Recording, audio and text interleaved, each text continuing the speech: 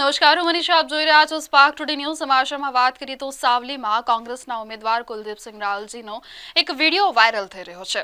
ગુજરાતમાં વિધાનસભાની ચૂંટણીનું કાઉન્ટડાઉન શરૂ થઈ ગયું છે અને ગણતરીના જ દિવસો હવે ચૂંટણીને બાકી રહ્યા છે. તેવામાં અત્યારે તમામ લોકો દ્વારા પૂરજોશમાં પ્રચાર પ્રસાર કરવામાં આવી રહ્યો છે. કોંગ્રેસના ઉમેદવાર પણ સભા ગજવી રહ્યા હતા. તે સમય દરમિયાન તેમના દ્વારા જણાવવામાં આવ્યું હતું કે કોઈ પણ મારા કાર્યકર્તાઓની સામે જોશે તો આંગળી કાપી કાઢીશ. તેમના દ્વારા અત્યારે આ વાત કહેવામાં આવી હોય, જેનો વીડિયો વાયરલ થયો છે, જે અંગે તેમને સ્પષ્ટતા આપી છે અને બીજી તરફ આ સંપૂર્ણ જે વીડિયો વાયરલ થયો છે તેને લઈને ભારતીય જનતા પાર્ટીના ઉમેદવાર કેતન ઇનામદાર દ્વારા પણ પ્રતિક્રિયા આપવામાં આવી. પ્રમુખ મંત્રી જોઈ લેશે એવું બોલે છે ને? જોયું છે ક્લિપિંગમાં હમણાં છેલ્લા ચાર દિવસથી સિવોરા સભામાં બોલે છે.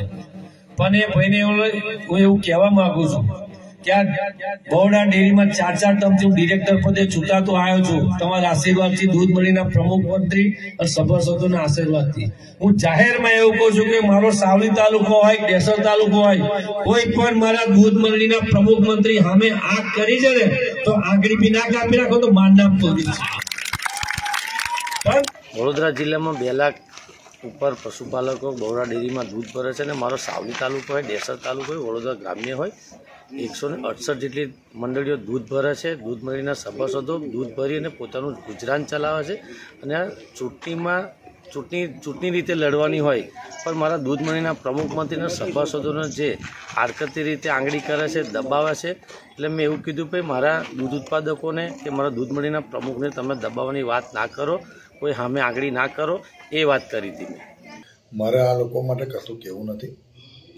જે લોકોએ જીવનની અંદર મચ્છર નહીં માર્યો એ આંગળી કાપવાની વાત કરતા હોય એમને પ્રતિક્રિયા આપવાની. અને બીજી એક વસ્તુ તમે કહો, આ નવા નિશાળ્યા છે.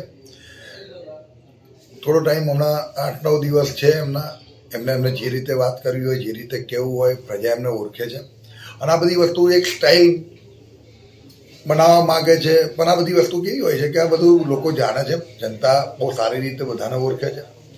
આ વાતો મૂકીને, વિવાદમાં આવીને સારા કામ કરીને તો ચર્ચામાં રહી નહીં શકતા.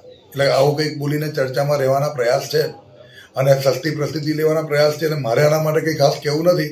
પણ હું માનું ત્યાં સુધી ના ભાઈએ કોઈ દિવસ જીવનમાં મચ્છર પણ કદાચ માર્યું નહીં હોય. આંગળી કાપવાની વાત તો બહુ દૂરની છે.